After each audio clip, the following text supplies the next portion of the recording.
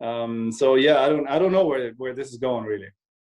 That's interesting. So yes, when they moved, um, when they moved it, the like the Chinese American community, I believe, was very supportive of that. Mm. So, um, you know, I mean, I I honestly don't have opinion one way or the other. What you said makes sense to me, right? It makes sense that they moved it, but um, it seemed to me from the reaction that I've gotten from the Chinese American community is that they were supportive of it. They thought they were like applauding, like "good job," you know. Yeah, yeah, yeah. I get that. I got that a lot actually. Um, like the, these in my comments and everywhere, because it seemed like yeah, a, a certain hypocrisy has ended like finally you you you follow through but then is following through really a smart move in the middle east because i mean china not following through on anything and just making empty words uh, has been going pretty well for them so far so like why didn't the us continue just you know with the empty word with, rhetorics of yeah yeah okay you get the the capital in this in jerusalem but no we're not ready to move for maybe we can't get a u-haul you know uh, knows you can get a U-Haul. It's just an excuse, but it's diplomacy. You know, you, you if I if I don't want to come to your place because I don't like your I don't know your, your mom, I don't have to.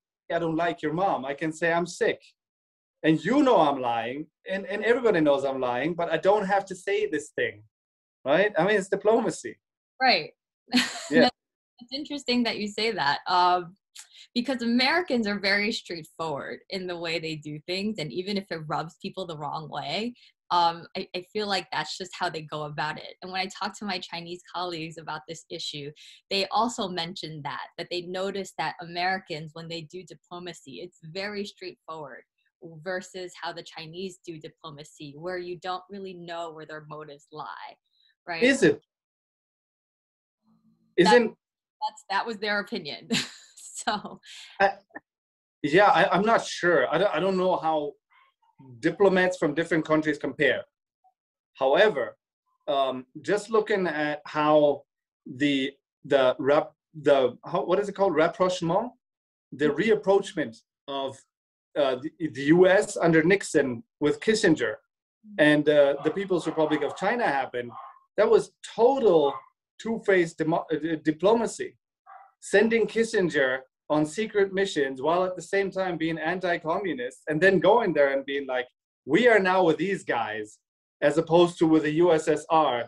Those are bad communists, but we are now with these guys. They're not really, I don't know, maybe they're not communists or they're good communists or whatever. It was diplomacy.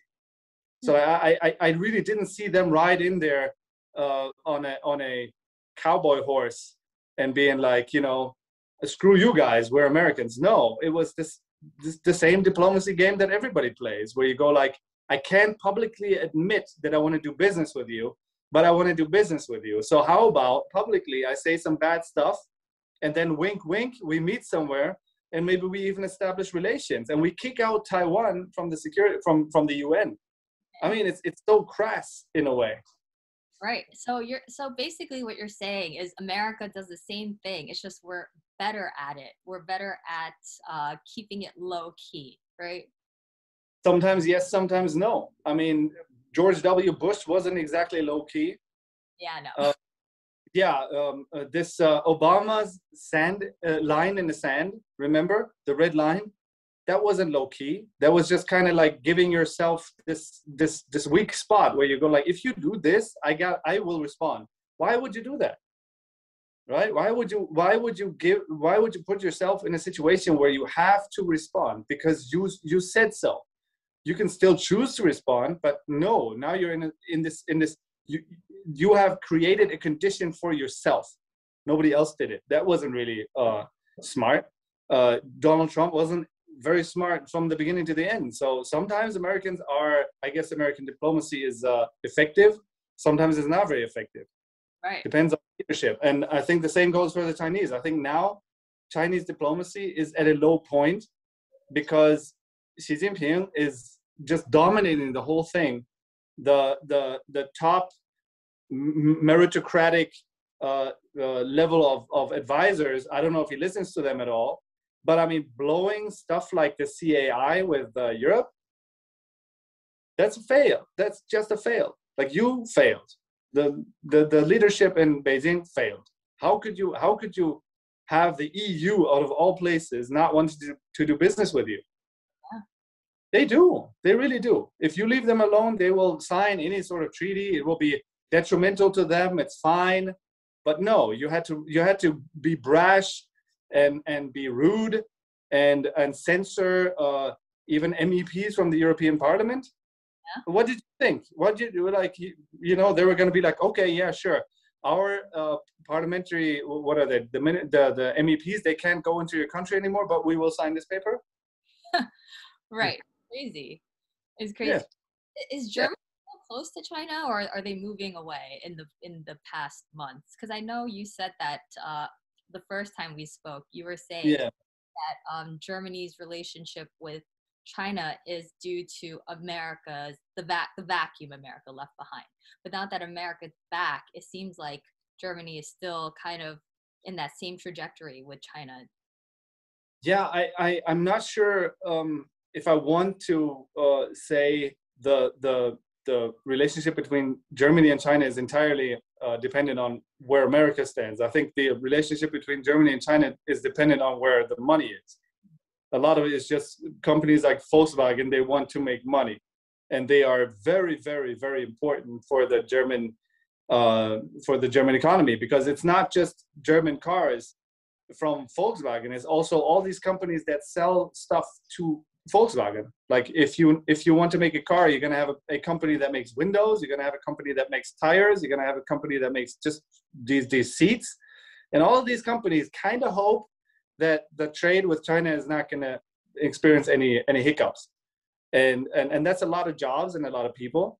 And so the German government is kind of looking at them and thinking like, well, on principle, I really don't like human rights violations, but I kind of also really like these people to have jobs. Yeah. And so you kind of go where the where the money is, I think. Um, yeah and, and and we're getting more and more dependent on china and so it gets more and more difficult to, to say anything. Yes. um yeah. but right now i don't really see a change a substantial change. It seems like the, the european union as a whole is moving away from china but germany as a an, an individual country is still kind of steadfast. It's still kind of saying like yeah let's not you know uh, make it make a stink. Let's kind of just do business as usual yes i mean so the the, the draw to um chinese money right and the draw yeah. that huge chinese consumer market is is is too enticing for businesses to really like stay away from so for for instance like i i can't I can't blame Germany at all for like wanting good trade relationships with China for the best interest of its country. So for instance, right, like you know how China um they banned or no, they put a high tariff on Australian wine. Yeah. So, you know, that's that Australian wine industry took a big hit because of that. And um now the US wine uh industry has you know gr- like ticked up exponentially because China started importing wine from America. So, um, you know, even though you know america australia and like the eu we like talk a big game about how we want to like stop china from doing things at the same time we also very much do want to do business with china so, yeah. so there there's always going to be that kind of paradox and that disconnect right because they have yeah. that huge market yeah. yeah, it's it's a one one fifth of the global population.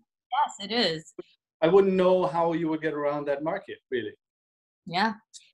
We've moved ourselves in a position where it's very difficult. I think um, together we still kind of hold our own, uh, uh, you know, in, in terms of like market weight and everything, but individually, not so much.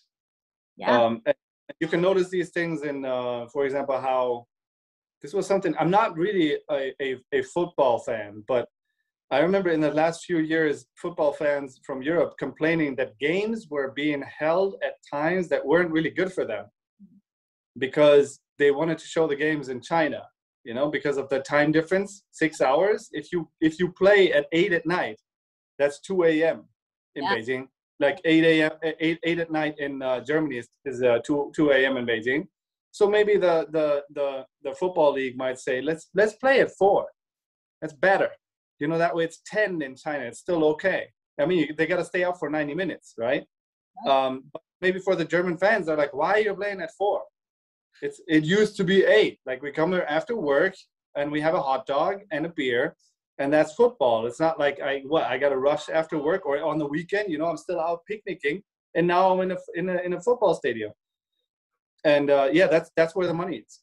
Yeah, I mean, same. I mean, I know this is like a little bit off topic, but yeah, same same in America where we have a, like so you're talking about football because I know Europeans are very passionate about football.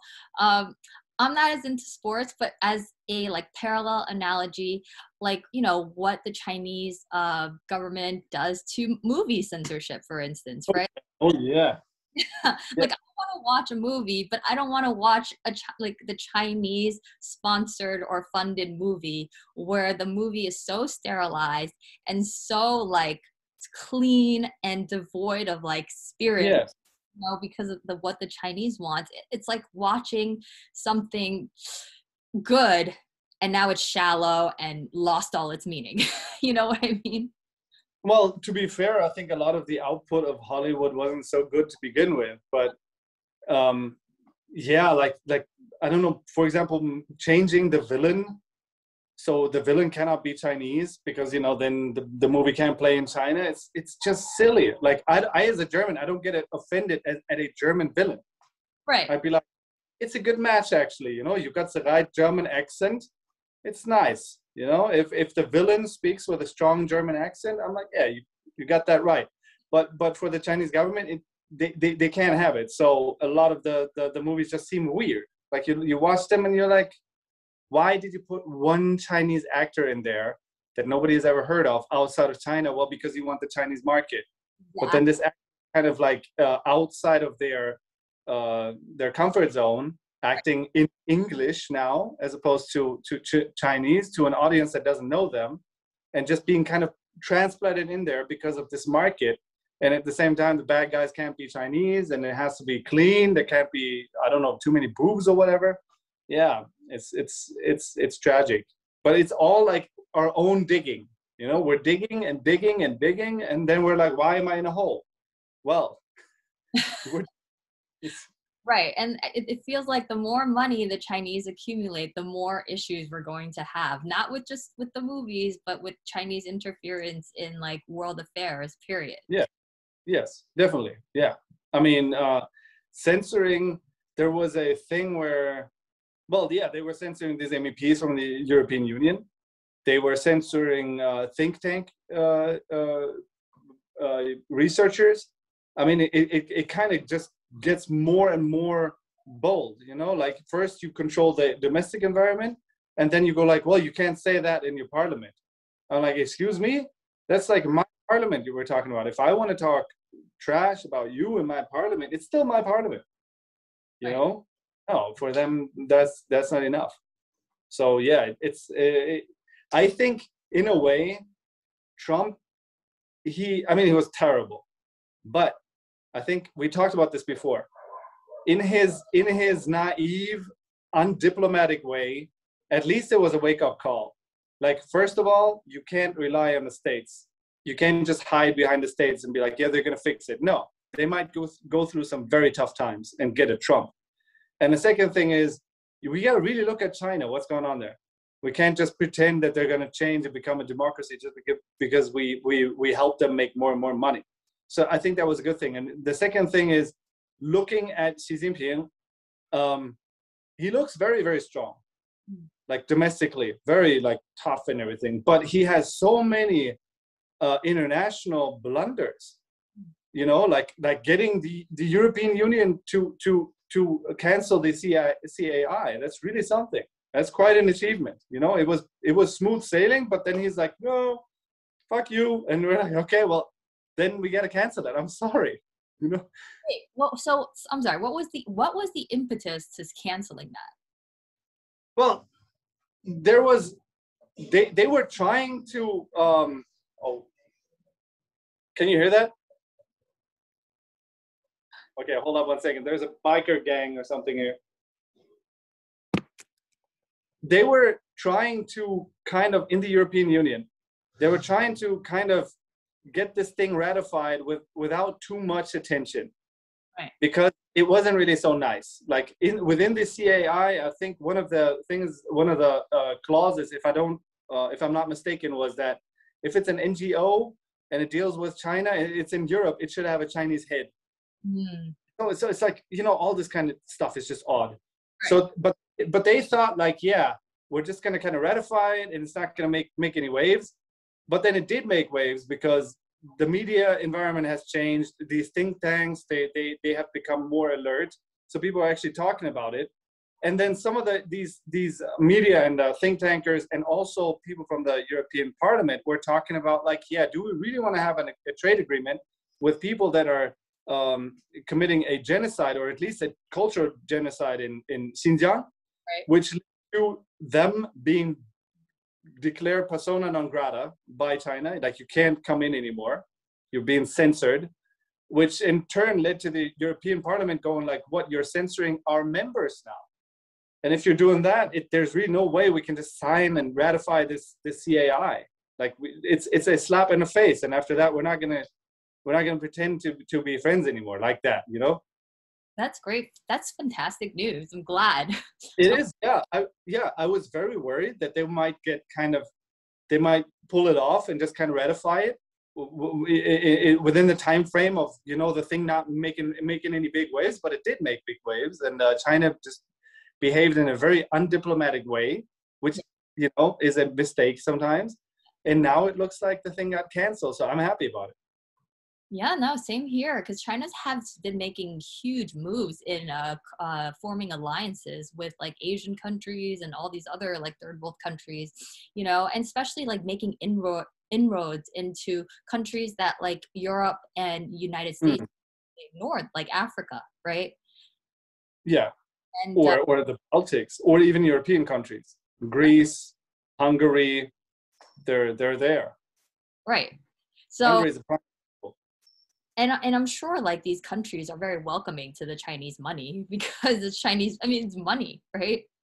Yeah, yeah, sure. I mean, yeah, but a lot of the times it's not so much money, it's just promises of money. And now they're learning. So in that as well, there is a little bit of a souring of the like uh, Montenegro, they built a huge infrastructure project. I don't know what it was, some some road. And it turned out a disaster. And now they're appealing to the European Union to bail them out, to give them the money to give back to the Chinese because they just kind of, they had signed something that didn't make sense with the Chinese uh, promising them you know all kinds of good things, but those things never materialized, and now they're kind of in shit. Um, and this is this is a, a common experience. Yeah. Yes, it's actually very typical. Like as a lawyer, um, when I deal with like Chinese clients, you see it like you know what the the issues you're talking about from like the like a national country perspective and how they have issues with legal, um, meeting their legal obligations and actually drafting and signing meaningful like policy and legislation. I see that with individual Chinese um, you know clients as well, where they come to me and they they sign some legal gibberish right? Where that doesn't that, that where it shows that they haven't done their due diligence. So uh, i'm not surprised that uh, the chinese have come onto the scene. They're major disruptors. They want to break things right? Break things and make things in their own image. Um, but they're not quite um sophisticated enough yet right in international dealings if, in my opinion from what i see at least I don't know. I mean, I think there is a there is a misunderstanding that the Chinese state has and that Chinese people have um, is a misconception of themselves. I, when I was in uh, Central Asia, I was surprised at the good things that had come from China. Actually, like road construction. Um, at least it's new, and at least uh, are you still there? Yeah, it just Okay. sorry So I was looking at, for example, road construction, and it was pretty good road. Central Asia has a lot of bad roads, uh, Soviet era roads or like later nationally built roads. They're not necessarily very good roads. The mm-hmm. European Union doesn't come in and build roads. The right. Americans come in and build roads, but the the Chinese might. And so I was looking at these roads and I was like, this is nice. And people will remember that they're driving on a Chinese road and right. that it's a good or or for example, Uzbekistan got a nice train. And I was taking that train. It's not a bullet train, but it's a nice, clean, modern train that goes fairly fast and has little like uh, displays and stuff. And it was Chinese, of course. So I was looking at it and I was like, well, here Chinese, China is actually like doing things that are going to have a positive impact on the population. Like it's good to have that train, and it's good to feel like, well, we didn't have to wait for Europe or the States to, to come and be like, here, take this super expensive thing that you can't afford. No, we got something cheap from China, but it works. But the problem is, I think the misconception is that even though they do this kind of stuff, and even though often or sometimes it works, people are terrified of them because China is behaving like a like an imperialist country, really. Like uh, it, it is so big. I think, for example, people in Kyrgyzstan, they're very conscious of the fact that their population is, I don't know if it's that of Beijing. You know, the country as a whole is not even Beijing. And then you have this behemoth right there. And the behemoth kind of goes like, well, you know, historically, that part of your country was mine, but, you know, I'm not going to act on it, but just know. And by the way, here's a road here's a train and um, you know let's let's let's do some business and maybe i'll open a, a copper mine. People are terrified. Oh, they are terrified. They, they they they feel like they have no ways of competing with the chinese anyway.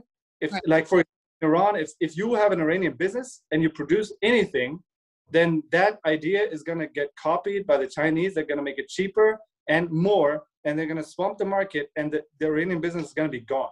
Right. This is this is a stereotype. It doesn't happen often, all the time, but it happens so much that Iranian people are like, please, like, just stop letting the Chinese in because it's killing our business. Like, we are being killed by sanctions, we are being killed by our own government, and we're being killed by Chinese imports where we can't compete.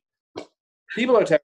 I don't. I don't really. I really don't think that they know that. I don't think they understand that because they feel like they're victims internationally because of 150 years of uh, what is it called? Humiliation. Mm-hmm. but if you're from kyrgyzstan you you don't care about those 150 years. You care about what's now. And if you're from iran you don't care. You have your own 150 years of humiliation or how, however long they are. But everybody gets humiliated by by imperialism at some point. And then you look at this behemoth and you're like leave me alone. Yeah. Yes yes. I mean china is very daunting because you know the money factor um, you know, to me, because they're a, a country that has no religion, um, mm-hmm. I don't want to get into religion because I know it's a very like touchy topic. But I think you know, like their their um, their main purpose is to go out and make profit, right, at any cost. Um, so i think there's no like limiting factor to like you know ethical moral limiting factors to mm-hmm. their ambitions to like world domination and also just very practically speaking making money for like the, the chinese you know citizens. Yeah i'm, I'm not so sure if i would say like you you have to ground your moral framework in religion. You could be just kantian right? You could just say philosophically i have morals you know uh, the, the categorical imperative that's how i act and you don't need to be religious for that. And i think the Chinese, they have the capacity to do that. It's just that with all the lies and with all the, the, the, lived lies, not dead lies, not lies about what happened six years ago, but lies about what's happening right now. Are we socialists? No. But do we say we are? Yes. And and at the same time with the with the experience of all the turmoil and all the trauma that that happened when you were being kind of ideological then it's just really better to be super opportunistic, super pragmatic, and just to say like, okay, what's the bottom line here, guys? You know, we're gonna do business with the Taliban. Doesn't it doesn't matter. The uh, there was an interesting article by who was that? Was that Chris Buckley or something? Fascinating. The flags for the Islamic State they were made somewhere in Guangdong. Ah. Yeah, because the Islamic State is like, we want to have black flags with like Islamic State logos, we don't have the capacity to make these flags, but we need a bunch of them because we're a state now, right? And we want to terrorize everybody. So please, online order, make me a bunch of flags. And that that shop is like, oh, okay, I can't read this, but it's a flag. Let's make it. Right. Make a bunch of flags, ship them there. And you're like, uh, do, do you know what this is being used for? Don't care. Don't care. It could, it could be a rainbow flag.